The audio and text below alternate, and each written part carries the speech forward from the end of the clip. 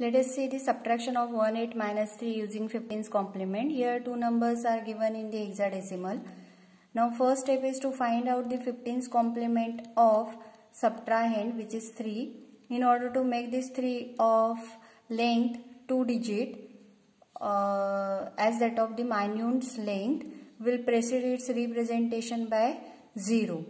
So 15's complement of 0 3 base to the 16 can be obtained by subtracting 03 from the highest number from the hexadecimal numbering system which is the 15.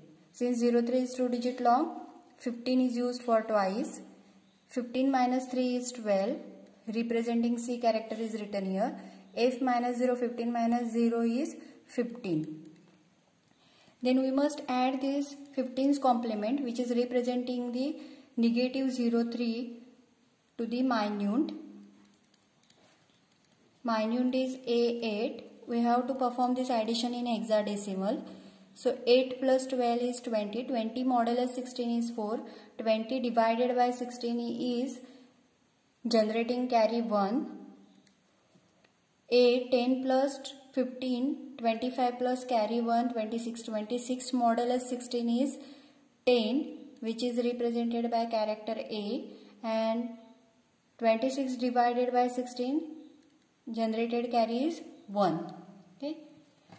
Since the carry generated from the addition of the MSDs result is positive and the actual answer can be obtained by adding this carry to the sum. A4 4 plus 1 5 5 modulus 16 is 5 5 divided by 16 is 0 a plus 0 is a, a modulus 16 is a, a divided by 16 is 0.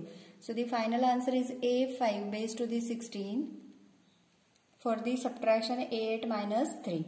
Thank you.